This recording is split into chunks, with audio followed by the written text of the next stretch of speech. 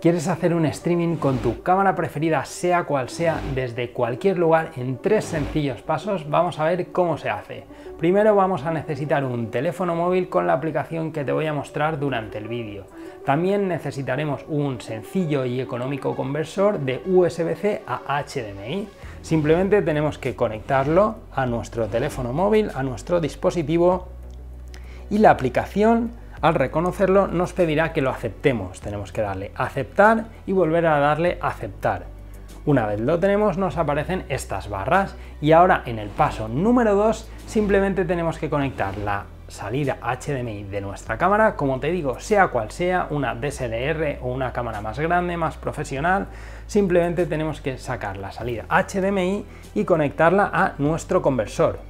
Una vez lo tenemos aquí, vemos que ya nos llega la señal de cámara a nuestro dispositivo, a la aplicación. Y ahora en el paso número 3 es muy sencillo, simplemente tenemos que darle al botón de Live. Y ahora ya estaremos transmitiendo nuestra señal a través de internet a cualquier lugar del mundo con la ventaja de que además podemos añadir un logo con nuestra marca aparecer aquí, ya ha aparecido, en unos segundos ya tenemos la señal. Soy Ginés Romero, soy técnico audiovisual y en este vídeo te voy a enseñar el funcionamiento de OmniStream, una aplicación perfecta para hacer streamings móviles y remotos y todo tipo de conexiones de manera muy fiable y muy rápida y con muy poca latencia. ¡Empezamos! Ahora ya hemos visto rápidamente el funcionamiento de OmniStream. Ahora te voy a contar cómo puedes conseguir tú exactamente lo mismo. Lo primero que voy a hacer es enseñarte la página web de OmniStream, es esta que tienes aquí. Te voy a dejar de todo el enlace en la descripción, así que no te preocupes por eso. Y aquí tienes un poco más de información y simplemente si quieres registrarte, simplemente tendrías que venir a Start Free Trial. Aquí vas a tener que poner tus datos, evidentemente, tu email para que te llegue toda la información. Vas a tener una prueba de 5 días, así que te aconsejo que la uses, la utilices bien y después ya tendrías que pagar. Puedes optar por aquí en pricing, por uno de los diferentes precios, pero tiene planes desde 20 euros para hacer live streaming, vas a poder eh, hacer, bueno, un montón de funciones que lo mejor es que las mires y veas si son interesantes para ti, pero tiene un montón de funciones que vamos a ir descubriendo sobre el vídeo.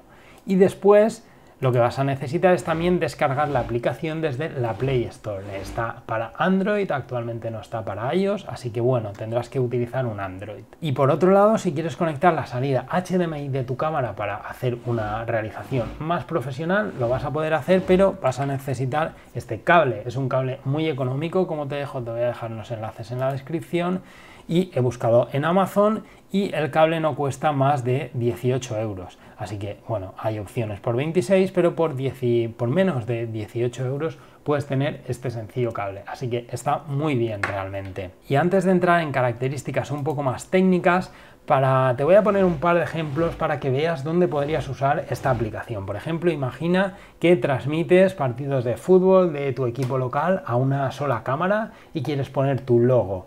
Eh, hay aplicaciones que permiten transmitir desde el teléfono móvil, pero si quieres dar una imagen más profesional y tienes una cámara DSLR de cualquier tipo, vas a poder poner la salida HDMI como hemos visto y conectarla aquí vas a poder transmitir. Otro ejemplo de utilizar esta aplicación es muy común utilizar en los informativos. Hoy en día se realizan muchas conexiones en directo con equipos móviles y se utilizan equipos muy caros realmente, eh, que no son asequibles para la mayoría de, las personas. Se utilizan equipos como el LiveView, que normalmente se denominan estos equipos mochilas, que conectas la cámara al equipo LiveView y te hace la transmisión o existen equipos de, como el de Teradek, el Bond de Teradek, pero vas a poder hacer exactamente lo mismo con un teléfono, un cable y tu cámara, sea cual sea. Es que es, es fantástico, la verdad. La aplicación funciona muy bien y el coste no cuesta lo que las barbaridades que cuestan este equipo de equipos tan profesionales para televisión. Vamos a entrar ya a la aplicación y vamos a ver cómo se configura. Vas a ver que es muy sencillo. La aplicación, cuando entras la primera vez, te vas a encontrar con esto y si nos hemos logueado, simplemente tendremos que venir a Login. Le damos al Login y una vez entramos nos encontramos con esto. Vemos aquí que tenemos en la parte de arriba diferentes opciones, vamos a ir viéndolas poco a poco y arriba en estas tres rayas de aquí tenemos como suele ser habitual los settings. Tenemos aquí eh, varias opciones para hacer un speed test, para conectar un teléfono móvil, esto sería para la opción de bonding. Y vamos a ver los settings. Venimos a settings, y tenemos aquí un montón de opciones. Vamos a poder conectar segundos dispositivos, vamos a poder tener control remoto desde la aplicación, que lo vamos a ver desde la página web, vamos a poder tener la opción de Wi-Fi más celular y es decir, aprovechar la conexión de nuestro teléfono más aprovechar la conexión Wi-Fi. Entonces lo que va a hacer es un bonding de señal para que no se pierda la señal. Hay un vídeo interesante sobre esto, sobre el bonding en el canal, streaming sin para no perder conexión, es muy interesante, también lo podrías ver. Y también si venimos aquí, vamos a venir a cámara y tenemos la opción de elegir entre la cámara frontal, la cámara trasera utilizar un encoder o utilizar el adapter UVC. Esto es lo que vamos a utilizar para conectar nuestra cámara. Simplemente si pinchara a una de las cámaras trasera, por ejemplo, y volviera a la aplicación, veríamos que aparece la señal de nuestra cámara, la cámara de nuestro teléfono móvil. Entonces podríamos hacer ya el streaming desde aquí, pero nosotros lo que vamos a hacer es hacer el streaming como hemos hecho antes utilizando un cable para conectar una cámara profesional. Vamos a volver a la pestaña de settings, vamos a volver a settings y lo que vamos a hacer es volver a configurar nuestra cámara como external. La configuramos como external y aquí tenemos diferentes opciones de vídeo y podemos configurar, simplemente tenemos que pinchar y vamos a poner que sea, como veis tenemos hasta emisión en 4K, o sea es que es increíble la verdad. Simplemente yo voy a poner 1080 porque no tengo la cámara en 4K y podemos transmitir en diferentes códecs, en H264 o en H265. Yo en este caso lo voy a dejar en H264. El frame rate también lo podemos modificar, podemos modificar hasta 60 pesos, o sea, es que es increíble. Cancelamos y podemos modificar el bit rate de salida y tenemos hasta 16 megabits, o sea, algo impresionante. Yo la verdad es que me parece muy potente la aplicación, como vas a ver, y si queremos añadir nuestro logo tenemos que activar esta función de aquí que pone External Graphic Mode. También tenemos diferentes opciones aquí, pero bueno, para la prueba de hoy va a ser suficiente. Como te digo, si te interesa que hablemos más de la aplicación, simplemente tienes que dejarlo en los comentarios y haremos más vídeos sobre ella, ya que creo que tiene un montón de potencial. Vamos a volver atrás y lo que vamos a hacer es ir seguir viendo opciones. Como ves aquí en esta flecha de aquí, si pinchamos nos aparecen diferentes opciones que podemos tener. Podemos emitir en Facebook, en YouTube, en el servidor RTMP que nos interese. También podemos emitir en SRT como Listen o como Caller y aquí podemos configurar nuestras opciones. Si queremos, si pinchamos, vemos que tenemos aquí diferentes RTMP y los podemos activar o desactivar según más nos interese. Yo lo que voy a hacer es desconectarlo, ya lo tengo preparado y también podemos añadir en este icono de aquí, podemos añadir, como ves aquí, nuestro logo. Yo voy a añadir un logo y simplemente lo voy a elegir desde la galería de mi teléfono móvil. Una vez lo elijo, simplemente tenemos que decirle el tamaño a que lo queremos. Yo le voy a decir que sea grande y nos indica en qué posición queremos situarlo. Yo lo voy a situar, por ejemplo, eh, arriba a la derecha. Creo que es la mejor opción. Le voy a Submit y vas a ver que aparece nuestro logo cuando creemos la emisión. Aquí, como ves, en la parte de abajo nos indica las conexiones que vamos a tener. Yo en este caso tengo la conexión Yastel, que es la conexión de mi teléfono móvil y la opción de Wi-Fi. Él se va a conectar a las dos para hacer la transmisión. Vas a ver que aparece un pequeño gráfico que nos indica de cuál está eligiendo en cada momento.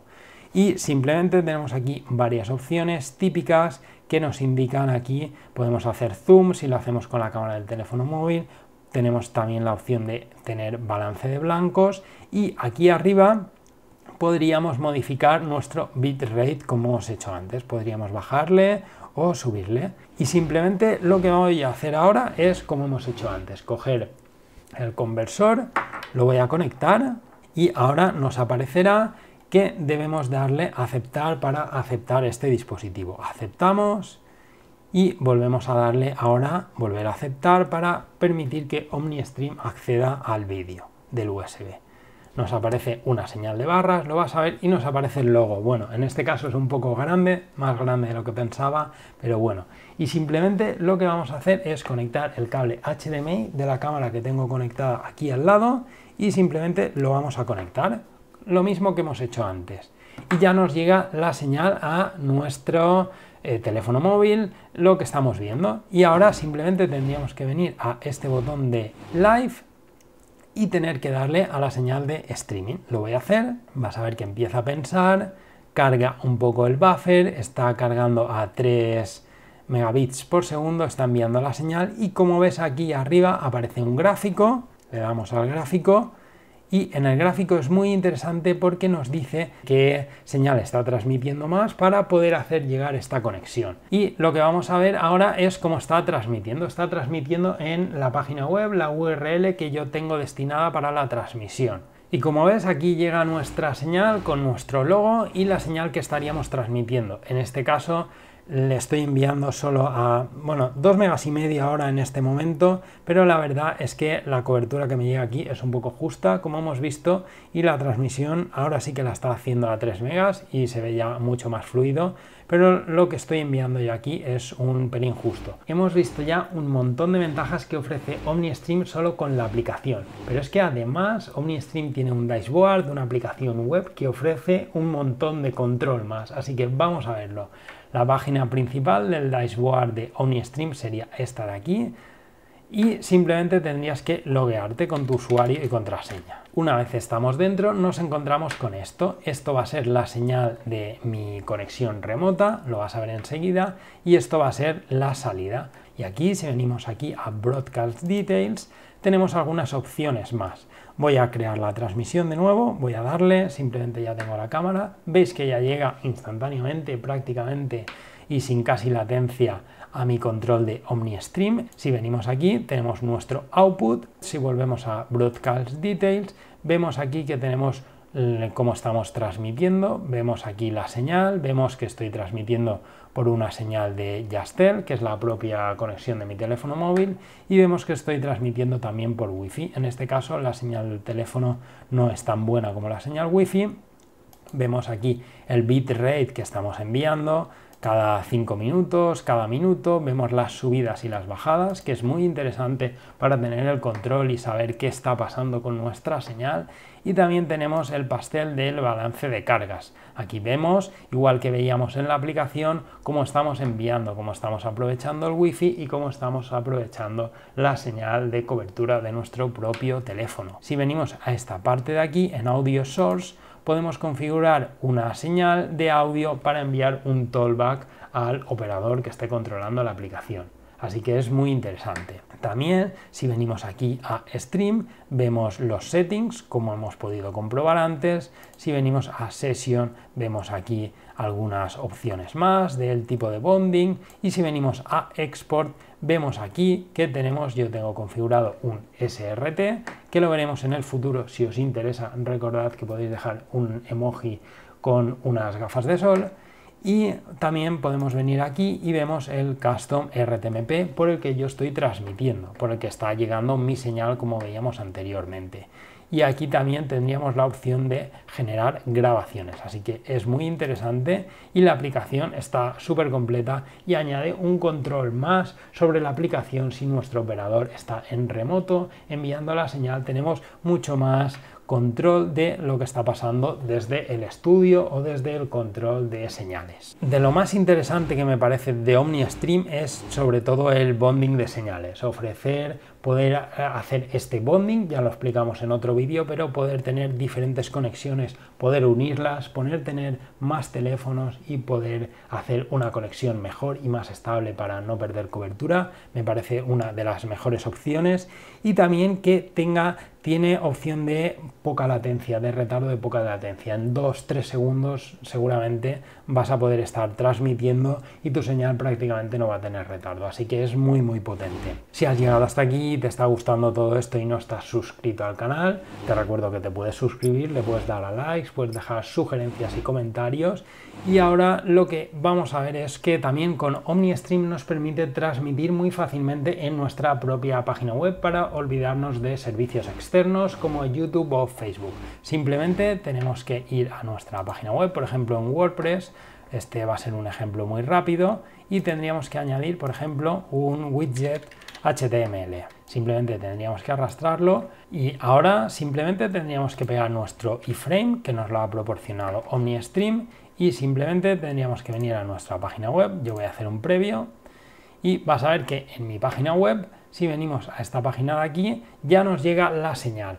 En este caso yo la tengo incrustada aquí, pero así nos estaríamos olvidando de Facebook y de YouTube y de cualquier sistema de este tipo. Y si has llegado hasta aquí, seguramente te interese ya conocer un poco más las características, todo lo que ofrece la aplicación. He preparado un sencillo gráfico, lo vamos a ver en un par de minutos. Y simplemente, como hemos dicho, vas a poder conectar cualquier cámara simplemente con tu conversor de HDMI y vas a necesitar la aplicación de OmniStream en tu teléfono. Y con solo estos tres elementos vas a tener la posibilidad de emitir en Facebook, en YouTube, salir directamente a una URL proporcionada por OmniStream, salir, enviar a cualquier player RTMP, lo que te va a posibilitar salir a Instagram, salir a LinkedIn, a cualquier sitio que tenga posibilidad de incrustar un RTMP. También vas a poder incrustar un iframe en tu página web para poder eh, tener la transmisión directamente en tu página web y también vas a tener la posibilidad de enviar por SRT. El SRT tenemos un vídeo en el canal donde lo explicamos un poco o quizás ya lo conoces porque has visto otros vídeos y el SRT nos va a permitir enviar la señal pues a VMix, a Create, a OBS y eso nos va a permitir mezclar esa señal, esa mochila, esa conexión remota de alta calidad, nos va a permitir mezclarla con otras señales que tengamos en nuestro estudio. O sea que, como ves, tiene un montón de opciones y de ventajas. ¿Cuáles son las principales? Pues yo he destacado alta calidad de imagen, ya que nos va a permitir salir por H264 y H265 y también nos va a permitir la opción de bonding. Esto es muy importante porque imagina que la señal del teléfono se pierde. OmniStream tiene la opción de crear un bonding. ¿Cómo lo hacemos eso? Lo hacemos conectando diferentes teléfonos a tu teléfono principal para crear una potencia conjunta y que pierdas menos señal de internet. Hasta aquí te he contado el funcionamiento de OmniStream. Creo que es una aplicación perfecta para utilizar tu teléfono móvil para hacer streamings y ofrecer calidad profesional gracias a poder utilizar la salida HDMI de cualquier cámara, sea cual sea, y emitir desde cualquier lugar a YouTube, a Facebook o donde sea. Espero que el vídeo te haya gustado, te haya parecido interesante o al menos que hayas podido aprender algo nuevo. Recuerda por supuesto que puedes dejar dudas y sugerencias en los comentarios, por supuesto darle like y suscribirte al canal. Por mi parte esto ha sido todo, dame un nos vemos en próximos vídeos.